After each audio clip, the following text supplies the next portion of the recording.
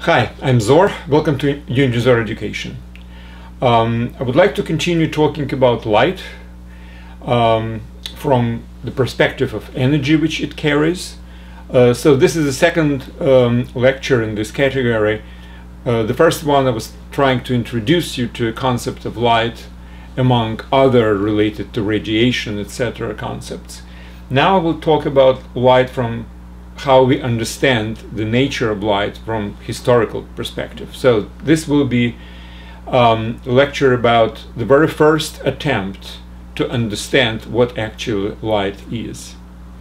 Now this lecture is part of the course uh, presented uh, on unizor.com. Uh, the name of the course is Physics for Teen, um, for Teens. Yes, um, there is a prerequisite course which is Math for Teens on the same website. All courses are free, there are no ads, so you can freely um, um, use them.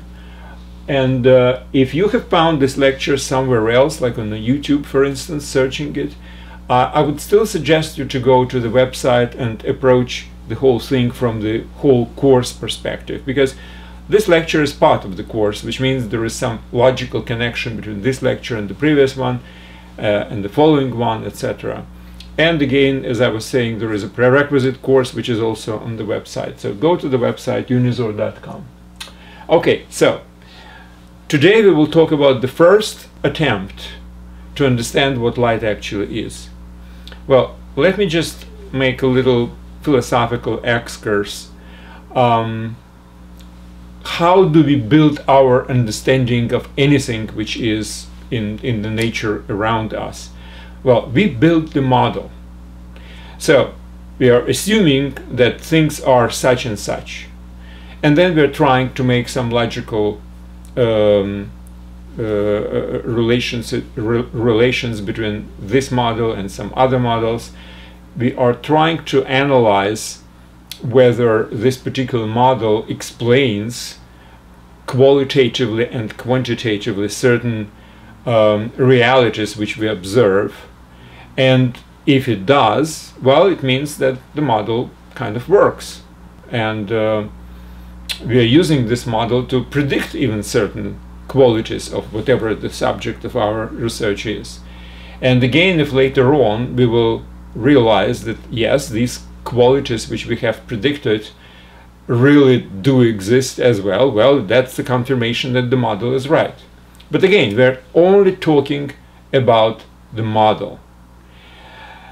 How it is in reality it's it's a big question. We don't really know but our models might represent quite well in some cases what the reality is.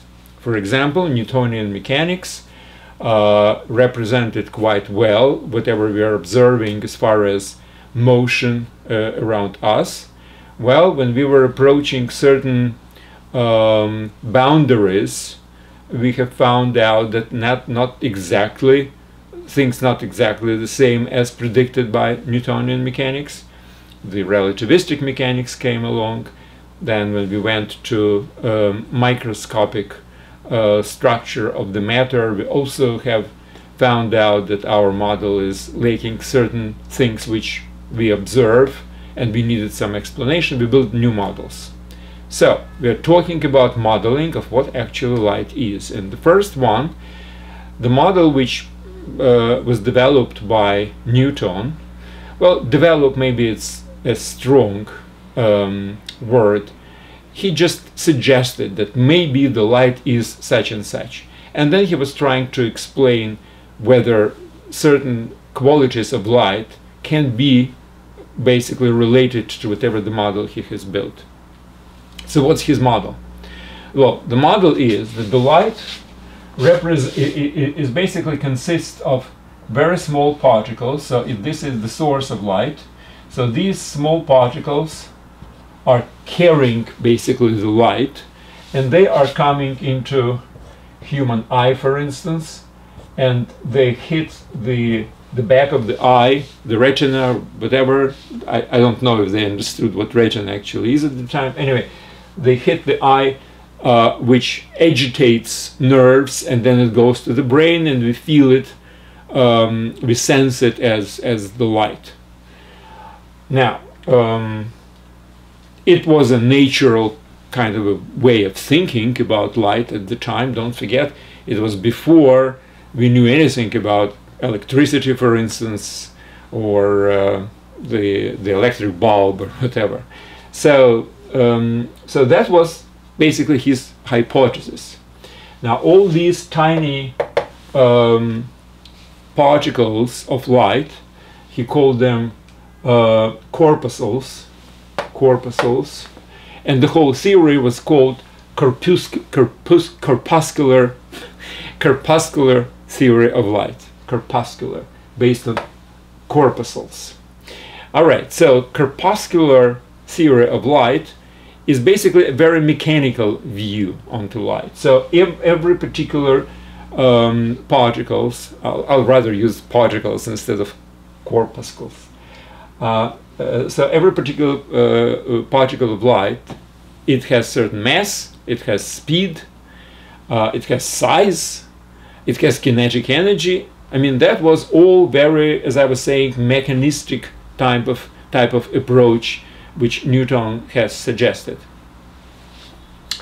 All right, so now he has to explain with this model different things which we are observing about the light. So our sense of light he did explain. Great. Now, um, how can um, we explain the different colors, for instance? Well, the explanation which Newton has suggested was that these particles have different sizes. Now, every size um, agitates our um, cells in, in the retina in different ways, and that's why we perceive it as different colors. Well, that's a plausible explanation. All right. So the colors are explained. Also, uh, there is a very simple explanation of um, reflection, for instance, if you have the beam of light here, and this is the mirror, it reflects. So basically the light particle behaves like elastic little ball. So it's elastic reflection. Nothing wrong with that. Seems to be working fine. Okay. Now, um, there is another very important aspect which Newton observed um, that's a refraction. So if you have, for instance, air and water, and there is a light here, then it changes direction. And yes, that was obviously observed many times. How to explain this? Well, the suggestion which Newton actually made was that different medium, in this case air and water for instance, um, they are basically slowing down these uh, particles of light in different ways. So he suggested that the change of the speed of, uh, of these uh, corpuscles, these particles of light, is the reason why the angle is changing when this particular event occurs. So that's the refraction. Um, if with a reflection the model of uh, elastic ball really works quite well, with uh, refraction it's not exactly as clear, at least to me, that different speed can explain the change of the angle. But that was his explanation. All right, um, what else? Well, uh, another thing which he basically observed was that the white color is the combination of different uh, elementary colors like red, green, blue, etc. Now the way how to observe it was to um, to send the light through a prism, right? So we know if this is a prism and if this is the white light, then it goes to different colors. Something with blue, something with red, green, etc. So, how can that be explained? Well, this is basically a, a refraction. So the, uh, the light goes in different ways. Different um, particles, since they have different masses, different sizes, they are refracted differently at, on, at each uh, boundary between the air and the, and the glass, for instance. So that was his explanation, which might work actually. Um, now, I would like to devote certain um, amount of time in this lecture to explain why this model is really insufficient. And there are certain known at that time, or almost at that time, um, things about light which the theory cannot really explain, which basically makes this theory kind of insufficient. All right, so right now I will talk about certain things which we observe with the light, which just cannot be explained using this particular uh, uh, corpuscular theory of light. Okay, here they are. I will mention three of them, and there are others actually. Now, the first thing is it's called um, diffraction. If you have a very small uh, hole and you put the light, then what you will see on this screen Well, if you will look from this side, this is your screen, and this is how light goes, what's interesting is you will see concentric circles with changing from uh, bright to dark, bright to dark, bright to dark, etc. It's called diffraction. Well, obviously, corpuscular theory cannot explain this particular um, case of uh, property of light. So the light somehow, by just going through this particular hole, it's a small hole supposed to be, then it goes somehow in different ways and again the dark are, uh, areas are changing uh, with the light one. So this is the view from here. This is the light. And this is how the whole experiment. Now this is called diffraction. And it looks like something is happening on the uh, edge of this hole. And the smaller the hole, the more um, visible these concentric circles are. Now, in the notes for this lecture, and by the way, I forgot to mention it, but every lecture on unizor.com has textual notes and certain references. So among the among the notes, the notes for this particular lecture con contains a picture how this thing really uh, looks like when there is a red light, and the red light actually when it's going through this small hole produces this picture of uh, bright red and and dark concentric circles. So this cannot be explained by the Newtonian uh, uh, corpuscular theory, uh, and that was one of the reasons for well developing some other things which we will talk about in next lecture. Okay, the next experiment, which again defies the corpuscular theory, is interference. Now, interference is if you have two holes and you have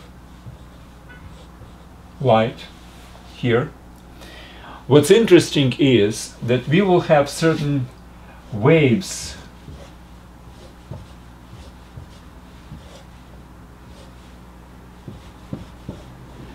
again dark and uh, and light uh, areas on the screen which you have here. Again, in my notes, I have a picture how it looks in reality. I'm just explaining this, but uh, you will see it there. Obviously, if I had certain equipment uh, here, I would be able to present it to you. I don't have any equipment. It's purely theoretical course, but picture always uh, works. So I present the picture over there, and I'm sure you can find uh, many, many different examples on, on YouTube, etc., how these uh, interference pictures are developed.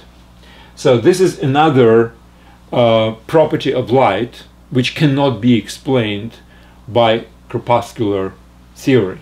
I mean, if the corpuscular theory was right, then all you would see here was on the screen. One bright spot and another bright spot, and everything else would be dark around it, right? But in reality, it's very, very complicated interference picture, so to speak. Now, the next and the last experiment is the following. Let's say you have a straight uh, ray of light. Now, let's position here a crystal of uh.